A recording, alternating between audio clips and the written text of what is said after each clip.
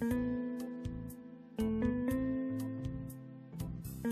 Всем привет! Продолжаем знакомиться с просто с интересными людьми. Мне это самому интересно. Мари Ллойд, Матильда Элис Виктория Вуд. Популярная английская певица, которая выступала в мюзик-холлах. Я цитирую Википедию. Старшая из девяти детей в семье родилась 12 февраля 1870 года в Лондоне. С детства хотела выступать в мюзик-холле, и это поощрял ее отец Джон Вуд, изготовитель искусственных цветов. Мать Мэри была очень хорошей портнихой.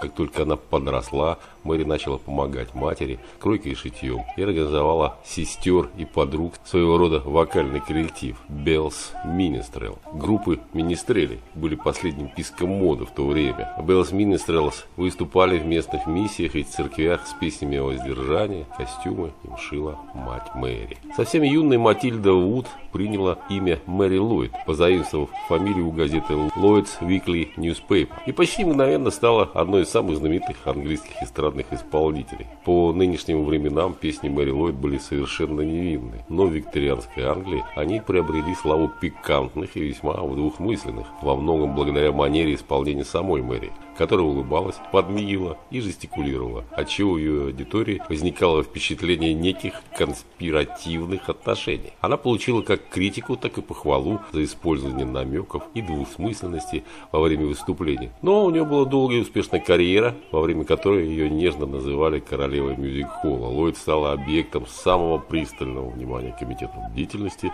от которых зависели лицензии варьеты. Я цитирую переводную Википедии то, что мне удалось найти. Ей нравилось утверждать, что любая безнравственность была исключительно в умах тех, кто жаловался на ее исполнение. А на самом деле ее песни совершенно безгрешны. Несмотря на свой успех и большие заработки, она поддержала других исполнителей во время забастовки, известной как «Война в Арите» 1907 года, когда артисты устроили демонстрацию перед театрами, надеясь улучшить оплату и условия труда. Мэри сказала тогда, что если звезды могут диктовать владельцам Варите собственные условия, то их более бедные коллеги вынуждены мириться с нищенскими зарплатами, и это несправедливо. К примеру Мэри последовали многие знаменитые артисты. Во время Первой мировой войны, как и в большинстве других эстрадных артистов, Ллойд с энтузиазмом поддержала призыв армии и бесплатно выступала перед ранеными солдатами. Находясь на гастроли в Соединенных Штатах, Ллойд дала интервью Нью-Йорк Телеграф, в котором сказала, что люди не будут платить за то, чтобы услышать варите песни из репертуара армии спасения, и что если бы она попробовала спеть что-нибудь